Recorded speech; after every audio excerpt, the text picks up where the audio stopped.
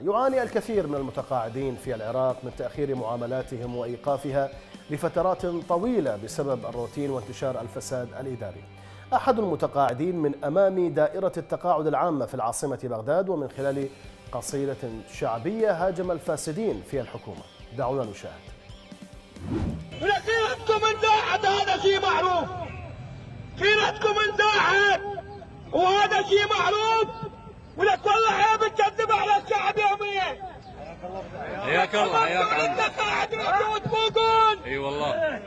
وبنتوا للتقاعد رحتوا تفوقون رجعتوا وبعتوا العشرة بالمية. وأنتم لا من مساحة لا غيرة ما تخجلون. والله لعبتوا بالبلد لعبة الجوبية أي والله. من اللي بيدهم طارت الخيرات. والله من اللي بيدهم طارت الخيرات. شافتكم حزن وفراقكم امعيد أنتم لا حدكم وحنية ولكن خدنا ونهبتوا عزكم معيدين.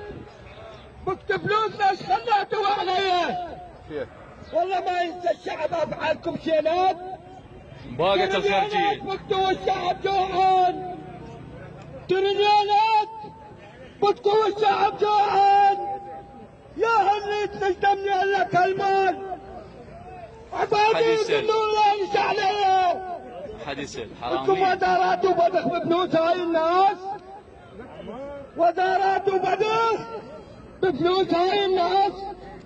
فرهت الشعب بفتوا الماليه